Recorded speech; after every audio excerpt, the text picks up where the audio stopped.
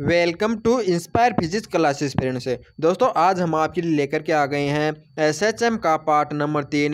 दोस्तों, इससे पहले वाले दो पार्ट हैं, उसके अंदर मैंने इसके जो पहले वाले तियालीस क्वेश्चन है, उनको कंप्लीट करवा दिया है। और आज हम करेंगे इसका पार्ट नंबर तीन। इसके अंदर अपन करेंगे चौवालीसवें क्वेश्चन से आगे के सभी क्वेश्चन। है दोस्तों, आज शुरुआत करते हैं हमारा चौवालीसवा क्वेश्चन। है चौवालीसवें क्वेश्चन में आपको क्या दिया हुआ है कि एक सरल लोलक ऐसे गोलक का बना है जो पारे से भरा हुआ है। एक खोखला गोला है और तार से लटकाया गया है। यदि थोड़ा सा पारा गोले के भीतर, यानी बाहर निकाल दिया जाए तो लोलक का आवर्तकाल होगा।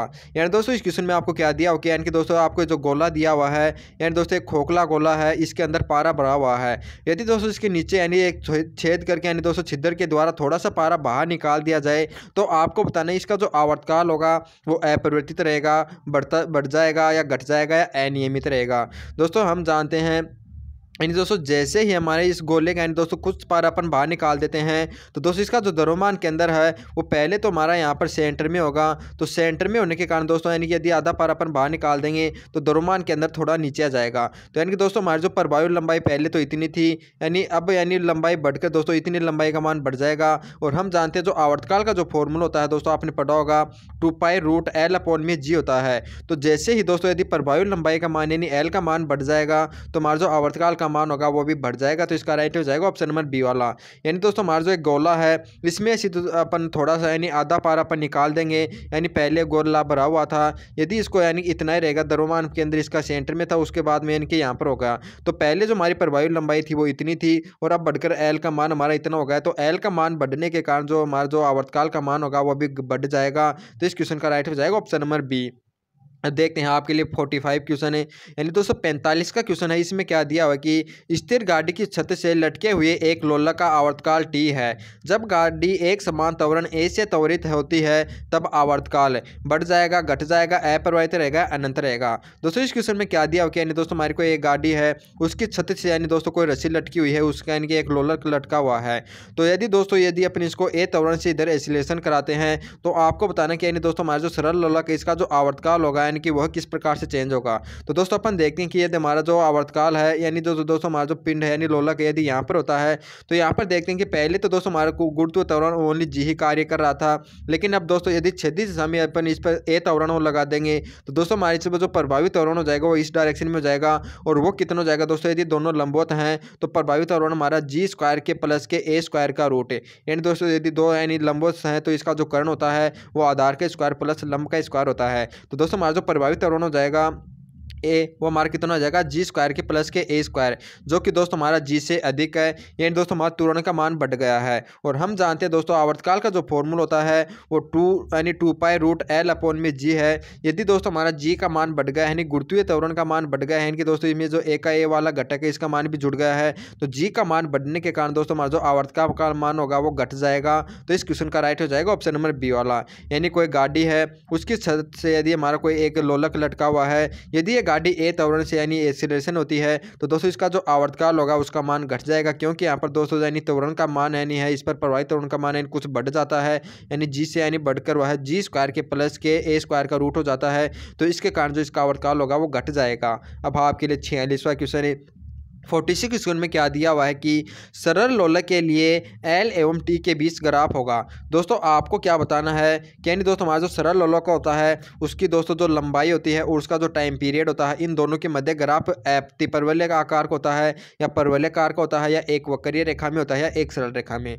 दोस्तों, हम जानते हैं जो आवर्तकाल का जो फॉर्मूला ये होता है two pi root L upon में जी होता है। तो यहाँ से अपन देखते हैं कि दोस्तों, हमारा जो टी होता है, वो समानुपाती होता है एल यानी रूट एल के, या अपन कह सकते हैं कि दोस्तों हमारा जो एल होता है, वो समानुपाती होता है टी स्क्वायर के। तो यहाँ से दोस्तों अपन देखते हैं कि यदि दोस्तों आपके पास इसी प्रकार से यानी कोई भी संबंध हो, एक चर हमारा एक घातांकी हो और दूसरा चर द्विघातांकी हो तो दोस्तों उसके मध्य जो ग्राफ होती है, वो एक प्रबल्यकार होती है। क्योंकि दोस्तों अपन जानते हैं जो परवल्य का समीकरण आपने पढ़ा होगा Y equal to four A Y square equal to four A X होता है। तो यहाँ से अपन देखते हैं कि दोस्तों इसके अंदर एक चर हमारा द्विघातांकी होता है एक चर एक घातांकी होता है। ये हमारा किसमें होता है? परवल्य के समीकरण में। तो यहाँ से यदि दोस्तों ऐसी यानी कंडीशन पाई जाती है एक चक्कर हमारा एक चर हमारा एक घातांकी और दूसरा चर हमारा द्विघातांकी हो यदि इस प्रकार से संबंध होती तो, तो उन दोनों के में जो ग्राफ होता है वो हमारे एक परवल्यकार हो जाएगा। तो इस क्वेश्चन का राइट हो जाएगा ऑप्शन नंबर बी वाला। अब आपके लिए हमारा सैंतालीसवा क्वेश्चन है। फोर्टी क्वेश्चन में आपको क्या दिया हुआ है? दोस्तों फोर्टी क्वेश्चन को देखिए। यह है कि निम्न में से कौन सा कथन सत्य है? सरल लोलक के उदाहरण में अल्प विस्थापन के लिए दोलन काल। एंड दोस्तों, आपको बताने की, यानी ये चार कथन दिए हुए हैं तो दोलन काल से संबंधित दोस्तों चार कथन आपको बताने कौन सा असत्य है? तो इसमें क्या दिया, कि दोलन काल होता है दोस्तों, वह लोलक की लंबाई के वर्गमूल के अनुक्रमानुपाती होता है, या गुरुतीय तोड़न के वर्गमूल के व्युत्क्रमानुपाती होता है।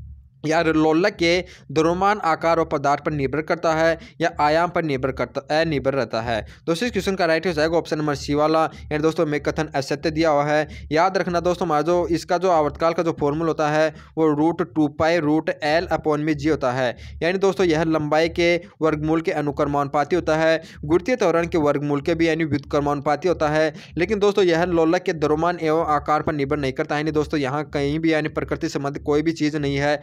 और दोस्तों, यह आयाम पर अनिर्भर है, यानी अनिर्भर का मतलब है कि इस पर डिपेंड नहीं करता है। दोस्तों, यह भी बिल्कुल सही है। तो इस क्वेश्चन का जो राइट आंसर जाएगा, वो जाएगा ऑप्शन नंबर सी वाला, यानी एम असत्य कथन दिया हुआ है।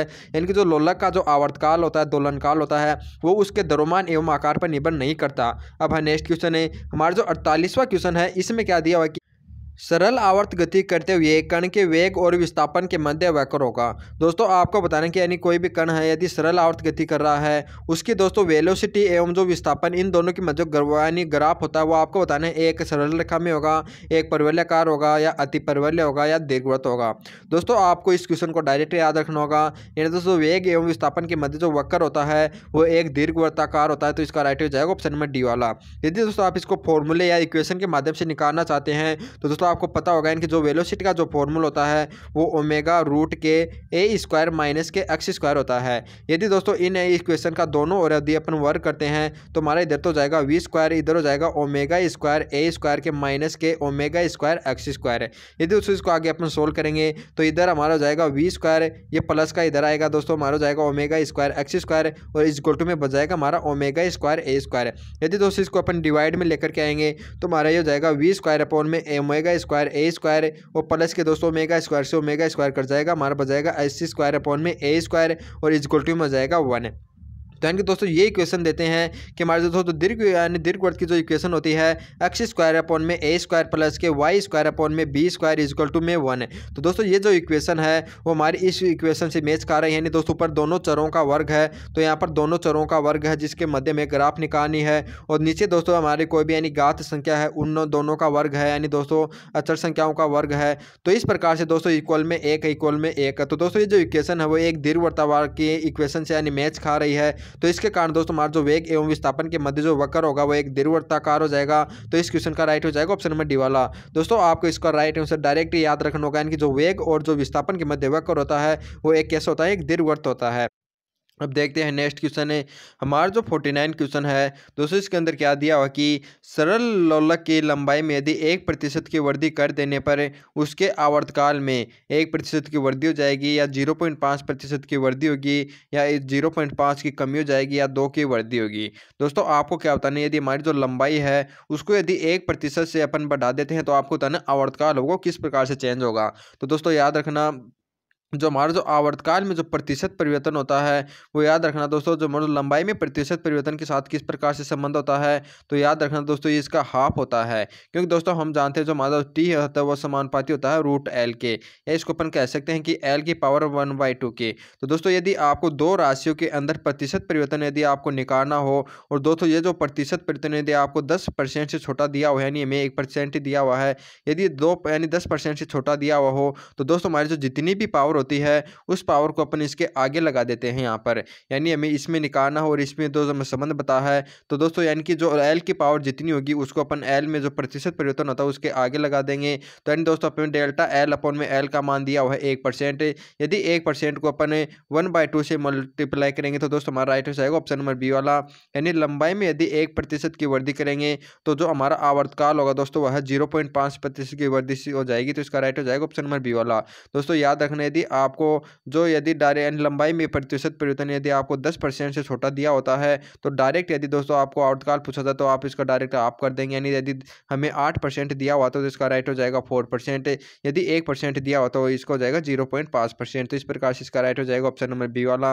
अब आपके लिए नेक्स्ट क्वेश्चन है, हमारा जो पचासवा क्वेश्चन है, इसमें क्या दिया हुआ कि यदि सरल लोलक की लंबाई तीन सौ प्रतिशत बढ़ा दी जाए तो आवर्तकाल बढ़ जाएगा। दोस्तों, यहाँ पर जो हमें जो प्रतिशत परिवर्तन दिया हुआ हो, दस से अधिक दिया हुआ है, यदि दोस्तों ऐसा दिया हुआ हो तो हमारे दोस्तों जो प्रतिशत परिवर्तन में जो संबंध होता है, यानी टी टू माइनस के टी वन अपॉन में टी वन मल्टीप्लाई सो होता है। और दोस्तों यदि अपन इसको लंबाई में प्रतिशत परिवर्तन होता है, उसमें संबंध किस प्रकार से निकालते हैं, ये हो जाएगा हमारा एल टू माइनस के एल वन अपॉन में एल वन मल्टीप्लाई सो। अब दोस्तों, यहाँ पर क्या करेंगे? अपन जानते हैं जो टी होता है, वो हमारा रूट एल के समानुपाती होता है। यदि दोस्तों, हमारा जो प्रतिशत परिवर्तन यदि दस परसेंट से अधिक दिया हुआ हो तो अपन क्या करेंगे? यानी जितनी पावर से दोस्तों ये संबंधित होते हैं, उतनी ही पावर अपन इधर भी लगा देंगे। यानी यानी जो टी होता है, वो रूट एल के समान समानुपाती होता है। तो यानी जो हमारा आवर्तकाल में जो प्रतिशत प्रतिवन हो जाएगा, वो किस किस प्रकार से हो जाएगा? रूट एल टू माइनस के रूट एल वन अपॉन में रूट एल वन मल्टीप्लाई में सो। तो इस प्रकार से दोस्तों, यदि ये दस परसेंट से हमें कम दिया हो तो इस इससे पहले वाले क्वेश्चन में मैंने आपको बताया था कि जो जितनी पावर होती है, उसको अपन आगे लगा देते हैं। और ये प्रतिशत परिवर्तन यदि हमारा दस से अधिक हो तो दोस्तों अपन यानी कि जो पावर होती है, उस पावर लगा देते हैं। अब दोस्तों, मैं क्या दिया कि इसकी जो लंबाई है, उसको तीस परसेंट बता दी गई है। तो दोस्तों, अपन मान लेते हैं कि पहले इसकी लंबाई सौ थी, और तीन सौ परसेंट बढ़ा दी गई है, यानी मतलब कि बाद में कितनी हो गई? चार सौ। तो यहाँ से दोस्तों अपन एल वन का मान, अपन सौ रखेंगे और एल टू का मान चार सौ रखेंगे। तो इस फॉर्मूले से अपन करते हैं तो हमारा जो टी टू माइनस के टी वन अपॉन में टी वन मल्टीप्लाई सो है। ये दोस्तों किसके इक्वल टू जाएगा? यानी दोस्तों रूट एल टू यानी दोस्तों हमारा चार सौ को जाएगा। रूट माइनस के सौ का रूट अपॉन में दोस्तों एल वन का रूट यानी सौ का रूट हो जाएगा और ये हमारा हो जाएगा मल्टीप्लाई में सौ। दोस्तों इसको आगे अपन सोल्व करेंगे तो हमारा हो जाएगा बीस और ये हो जाएगा माइनस का दस अपॉन में दस और ये हो जाएगा मल्टीप्लाई में सौ। अब दोस्तों यानी ये एक ज़ीरो से एक ज़ीरो कैंसिल हो गया और दोस्तों इसमें इसमें अपन घटाएँगे तो दस हो जाएगा और दस को दस से मल्टीप्लाएँगे तो कितना बच गया? हमारा सौ। यानी दोस्तों, यदि लंबाई में प्रतिशत परिवर्तन तीन सौ करते हैं तो हमारा जो आवर्तकाल हो जाएगा, वो सौ परसेंट बढ़ जाएगा, यानी कि इसका राइट हो जाएगा ऑप्शन नंबर सी वाला, यानी ऑप्शन नंबर ए वाला। इसी प्रकार से दोस्तों, अपन आ रहा नेक्स्ट क्वेश्चन है इक्यावनवा क्वेश्चन है इक्यावनवे क्वेश्चन में क्या दिया हुआ कि सरल एक सरल लोलक का आवर्तकाल टी है। यदि लोलक की लंबाई इक्कीस प्रतिशत बढ़ा दी जाए तो आवर्तकाल कितने प्रतिशत बढ़ जाएगा? तो दोस्तों, इसमें भी वही फॉर्मूला लगाएँगे।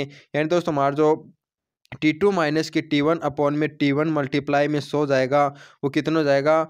एल टू माइनस के एल वन अपॉन में एल वन मल्टीप्लाई सो। अब दोस्तों, यानी अपन आगे, यानी आगे एक वन बाई टू लगाएँगे या इसका रूट करेंगे। सबसे पहले अपन जानते हैं दोस्तों, हमारा जो टी होता है, वो समानुपाती होता है रूट एल के।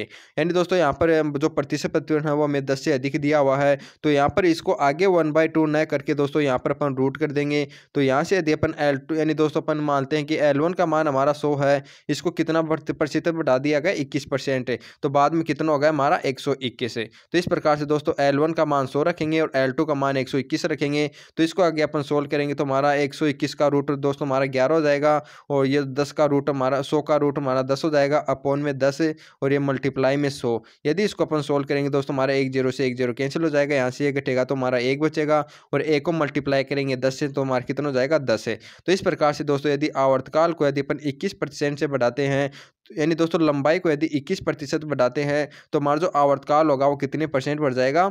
10 परसेंट तो इसका राइट हो जाएगा ऑप्शन नंबर ए वाला। दोस्तों, इसी टाइप के क्वेश्चन है, वो मैंने आपके लगातार चार क्वेश्चन लिए हैं, जिससे कि दोस्तों, ये जो क्वेश्चन है, वो आपकी अच्छी तरह से समझ में आ जाए, यहाँ पे एग्ज़ाम में कन्फ्यूज़ ना हो। दोस्तों, इस टाइप के क्वेश्चन है, वो आपके एग्ज़ाम में ज़रूर पूछे जाते हैं तो इन क्वेश्चनों को ज़रूर करना है। अब हमारे दोस्तों, ये जो नेक्स्ट क्वेश्चन है बावन नंबर का। इसमें क्या दिया हुआ है कि यदि सरल लोलक की लंबाई चौवालीस परसेंट बढ़ा दी जाती है तो इसके आंदोलन काल में। दोस्तों, यहाँ पर भी जो प्रतिशत परिवर्तन है, वो दस से अधिक दिया हुआ है। तो हमारा जो टी टू माइनस का जो टी वन हो जाएगा और अपॉन में टी वन मल्टीप्लाई सो दोस्तों किसके बराबर हो जाएगा? हमारा root L two minus root L one upon में रूट एल वन और ये मल्टीप्लाई में सो दोस्तों मैं ये कितना दिया? हो, चौवालीस परसेंट यदि यानी दोस्तों हमारा यदि एल वन का मान सो है तो एल टू का मान हमारा एक सौ चौवालीस हो जाएगा क्योंकि चौवालीस परसेंट बढ़ा दिया गया है तो रूट एल टू करेंगे। यानी दोस्तों एक सौ चौवालीस का यदि अपन रूट करते हैं तो हम जानते हैं ये हमारा बारह का हो जाएगा, और दोस्तों माइनस का यानी सौ का रूट अपन अपन करेंगे तो दस हो जाएगा और अपोन में दस हो जाएगा, ये मल्टीप्लाई में सौ।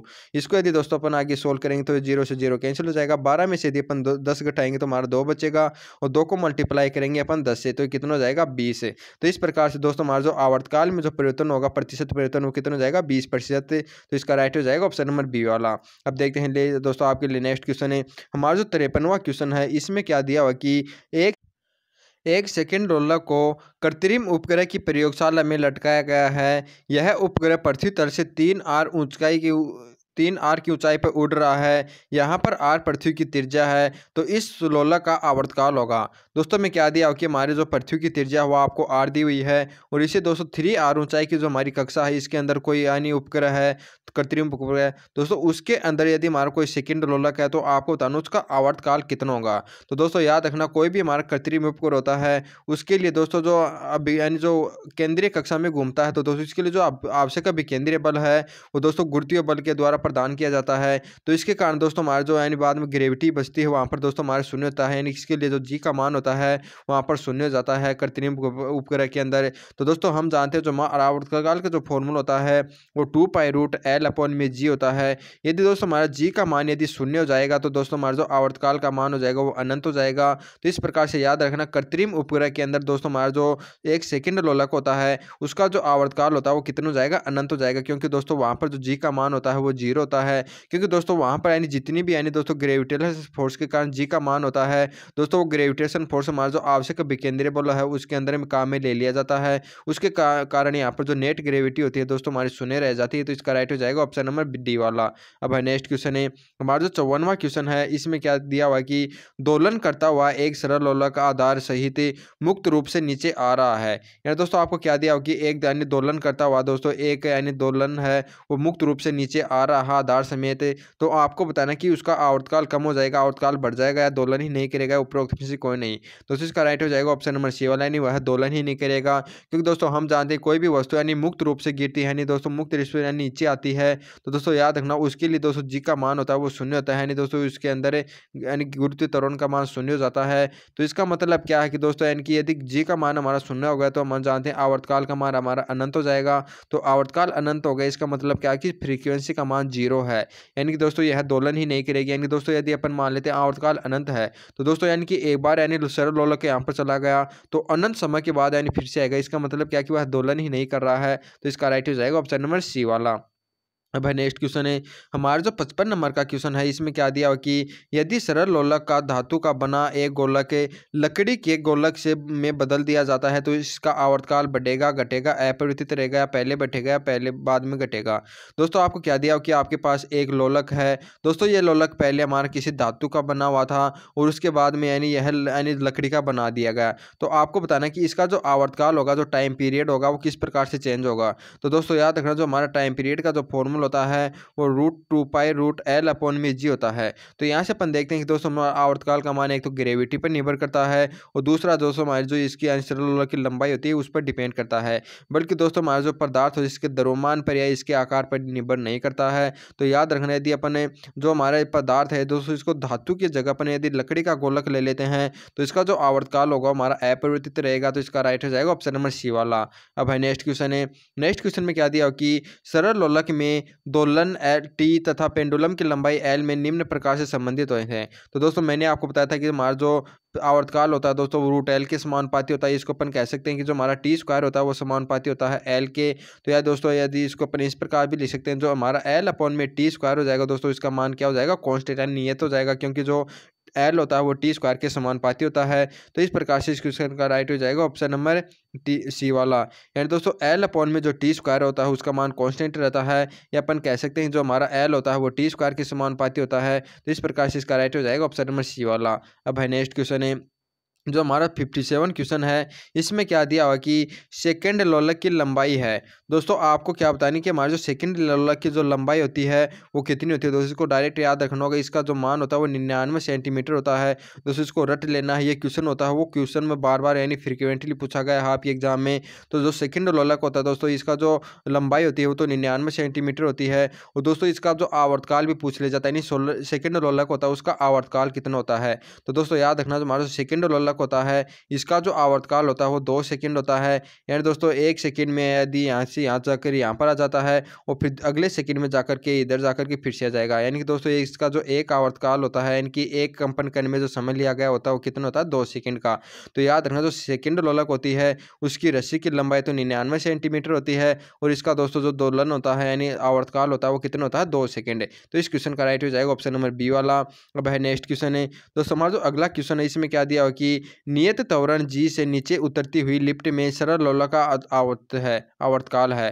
दोस्तों, आपको क्या दिया कि एक हमारी लिफ्ट है, उसके अंदर दोस्तों हमारा कोई एक यानी पेंडुलम लगा हुआ है। यदि यह लिफ्ट यानी दोस्तों जी त्वरण से नीचे आ रही है तो आपको बताना है कि इसके लिए दोस्तों जो आवर्तकाल होगा, वो कितना होगा। तो दोस्तों, मैंने आपको बताया हुआ है कि कोई भी लिफ्ट यदि ए एसिलेशन से ऊपर जा रही है तो उसका जो प्रभावित त्वरण होता है तो दोस्तों वो कितना होता है, वो हमारा जी प्लस के ए होता है। यदि दोस्तों यही यानी हमारी लिफ्ट ए त्वरण से नीचे आ रही है। तो इसका जो प्रभावित त्वरण होता है, वो जी माइनस के होता है। हमें क्या दिया कि यह जी त्वरण से नीचे आ रही है। तो इसका जो प्रभावित त्वरण हो जाएगा दोस्तों, हमारा जी माइनस के जी यानी मतलब का कितना हो जाएगा ज़ीरो जाएगा। यानी दोस्तों जी त्वरण से आ रही है, इसका मतलब यानी मुक्त रूप से गिर रही है। इसका जो प्रभावित त्वरण हो जाएगा, वो कितना हो जाएगा? जी माइनस के यानी ज़ीरो और हम जानते हैं, यदि जी का मान यदि हमारा ज़ीरो जाएगा तो दोस्तों, हमारा जो आवर्तकाल हो जाएगा, वो हमारा कितना हो जाएगा? अनंत हो जाएगा। तो इसका राइट हो जाएगा ऑप्शन नंबर डी वाला। यानी आवर्तकाल का जो फॉर्मूल होता है, वो two pi root L upon में जी होता है। यदि जी का मान ही हमारा ज़ीरो हो गया तो इसका जो आवर्तकाल हो जाएगा वो कितना हो जाएगा? अनंत तो इसका राइट हो जाएगा ऑप्शन नंबर डी अब भाई नेक्स्ट क्वेश्चन है। हमारा जो फिफ्टी नाइन क्वेश्चन है, इसमें क्या दिया हो कि एक चंपाजी किसी ज़िले में झूल यानी बैठा हुआ है, झूल रहा है, यह अचानक झूले पर खड़ा हो जाता है तो आवर्तकाल होगा।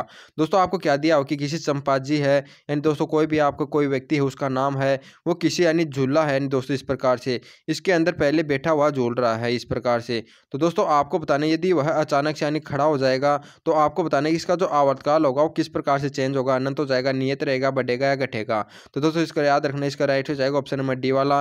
क्योंकि दोस्तों, यदि हमारा जो व्यक्ति है, वो पहले बैठा हुआ है तो इसका जो मास सेंटर था, वो यहाँ पर था। लेकिन जैसे ही दोस्तों ये खड़ा हो जाएगा तो इसका जो मास सेंटर हो जाएगा यानी कि इसे बीचों बीच यहाँ पर रहेगा। तो क्या होगा कि दोस्तों, पहले जो हमारी प्रभावी लंबाई थी, वो यहाँ तक की थी, यानी इस मास सेंटर तक की थी। लेकिन दोस्तों, जैसे ही ये खड़ा हो जाएगा मास सेंटर हमारा ऊपर चला गया। जो लंबाई का मान है, वो हमारा कम हो गया। और हम जानते हैं, जो हमारा टी होता है, वो रूट एल के समानुपाती होता है। यदि एल का मान हमारा कम हुआ है तो दोस्तों, आवर्तकाल का मान हमारा कम हो जाएगा तो इस प्रकार से इसका मान हो जाएगा। ऑप्शन नंबर डी वाला।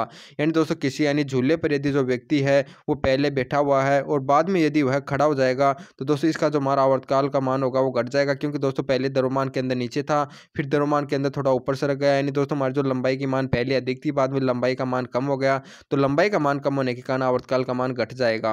अब नेक्स्ट क्वेश्चन है, हमारा जो सिक्सटी क्वेश्चन है, इसमें क्या दिया हुआ है कि एक सरल लोलक को विश्वत रेखा पर ले जाने पर इसका दोलन घट जाएगा, बढ़ जाएगा, अपरिवर्तित रहेगा, पहले घटेगा, फिर बढ़ेगा। दोस्तों, आपको क्या बताना कि आपके पास एक सरल लोलक है। दोस्तों, उसको यदि अपन विश्वस्त रेखा पर ले जाने पर इसका दोलन काल।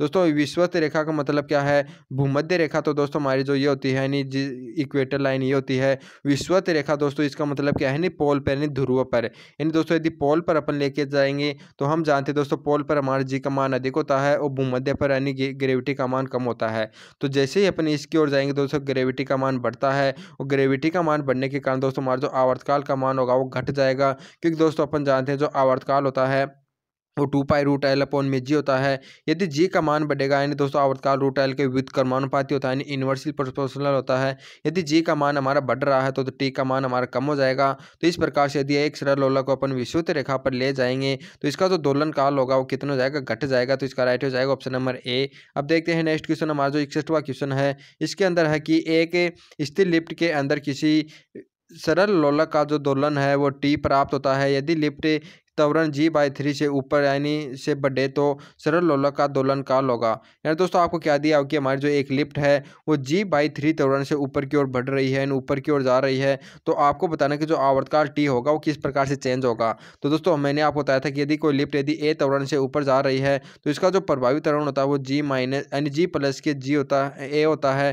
दोस्तों, यहाँ पर एम ए का मान कितना दिया हो जी बाई थ्री, यानी जी बाई त्वरण से ऊपर जा रही है तो इसका जो प्रभावी त्वरण हो जाएगा, दोस्तों, हमारा कितना हो जाएगा ये हमारा जाएगा जी यानी प्रभावी, यानी यानी दोस्त जी पी हमारा कितना हो जाएगा? जी प्लस के जी बाई थ्री यानी दोस्तों हमारा कितना हो जाएगा? फोर जी अपॉन में थ्री हो जाएगा। तो यानी दोस्तों हमारा जो आवर्तकाल का जो फॉर्मूला होता है, वो हम जानते हैं दोस्तों हमारा कितना होता है? यानी two pi root L upon में जी होता है। तो यहाँ पर दोस्तों यदि अपन जी की जगह अपन फोर जी अपॉन में थ्री यानी या थ्री ऊपर आ जाएगा, इसको अपन रखेंगे। तो दोस्तों यहाँ से अपन देखते हैं कि दोस्तों हमारा जो आवर्तकाल का जो मान हो जाएगा वो यानी सी वाला हो जाएगा। क्योंकि दोस्तों अपन जानते हैं जो हमारा पहले आवर्तकाल था वो हमारा two pi root L upon में जी था। तो यहाँ से दोस्तों हमारा रूट थ्री बाहर निकलेगा और बाहर से दो निकलेगा। फिर यानी two pi root L L upon में जी पर जाएगा, उसको अपन पहले वाले आवर्तकाल टी मान लेंगे। तो दोस्तों हमारा जो बाद में जो आवर्तकाल हो जाएगा वो कितना हो जाएगा? Root three by two upon में टी। तो इस प्रकार से इसका राइट हो जाएगा ऑप्शन नंबर सी वाला। अब देखते हैं नेक्स्ट क्वेश्चन है। हमारा जो बासठ नंबर का क्वेश्चन है, इसमें क्या दिया हुआ कि एक सरल लोलक का दोलनकाल टी है। यदि इसके गोलक को ऋणावेश दिया जाता है तो नीचे की सतह को धनावेश दिया जाए तो इसका नया दोलन होगा। दोस्तों, आपको क्या दिया कि आपके पास एक दोलन है उसका दोस्तों आवर्तकाल टी है। और दोस्तों क्या दिया हो कि यानी दोस्तों हमारा जो गोलक है, उसको अपन नेगेटिव आवेश दे देते हैं और दोस्तों इसको जो नीचे सरफेस है, उसको अपन धनावेश कर देते हैं। तो आपको बताना कि दोस्तों इसका जो आवर्तकाल होगा किस प्रकार से चेंज होगा? हम जानते हैं दोस्तों यानी ग्रेविटी हमारे नीचे होती है और दोस्तों यानी यदि हमारे ऊपर नेगेटिव चार्ज जिसको अपन देते हैं, नीचे हमारा पॉजिटिव होता है तो दोस्तों अपन जानते हैं दो यानी विपरीत प्रकृति के आवश्यक के मध्य अट्रैक्शन फोर्स पाया जाता है। तो दोस्तों इस गोलक यानी नीचे की और फोर्स लगेगा। यानी पहले तो हमारा ग्रेविटी के कारण यानी दोस्तों नीचे ग्रे गुड़ती तोड़ों का मान अधिक था। लेकिन दोस्तों एन कि यदि, यानी विपरीत प्रकृति के आवेश हो जाते हैं तो दोस्तों नीचे की ओर, यानी फोर्स का मान बढ़ जाएगा। यानी कहने का मतलब है कि नीचे की ओर फोर्स का मान, यदि हमारा दोस्तों जो, जी का मान है, वो बढ़ रहा है। यदि जी का मान हमारा बढ़ रहा है तो अपन जाएँगे, जो आवर्तकाल का मान होगा हमारा कम हो जाएगा। क्योंकि हम जानते हैं, जो टी होता है, वो रूट अंडर रूट जी के वित्त को पाती होता है। यानी दोस्तों अंडर रूट जी के वित्त को पाती होगा। यदि जी का मान हमारा बढ़ रहा है तो टी का मान हमारा कम हो जाएगा। तो यदि इसका पहले जो आवर्तकाल, वो टी था तो यानी दोस्तों, यदि इसको अपने दे दे देंगे गोला को, और नीचे, यानी दिनावेश सतह अपन रख देते हैं। तो जो हमारा जो आउटकाल होगा टी से कम हो जाएगा तो इसका राइट हो जाएगा ऑप्शन नंबर ए अब देखते हैं आपके लिए आज का अंतिम क्वेश्चन है। हमारा जो तिरसठ नंबर का क्वेश्चन है, इसमें आपको दिया हुआ कि एक कण सरल आवर्त गति कर रहा है। इस कण के विस्थापन तथा त्वरण के बीच खींचे गए ग्राफ की प्रवृत्ति होगी।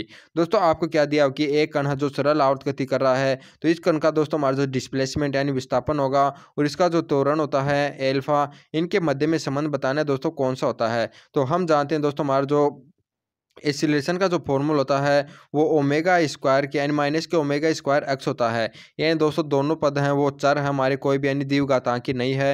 यानी दोस्तों, ये हमारा एक चर समीकरण है, यानी एक घातांकी समीकरण है। और हम जानते हैं दोस्तों, हमारे इस प्रकार से यदि एक्स इजिकल टू वाई हो, यानी कोई भी हो तो उसका दोस्तों, हमारा जो रेखा यानी ग्राफ होता है, वो एक सरल रेखी होता है। तो इसका राइट हो जाएगा ऑप्शन नंबर ए वाला।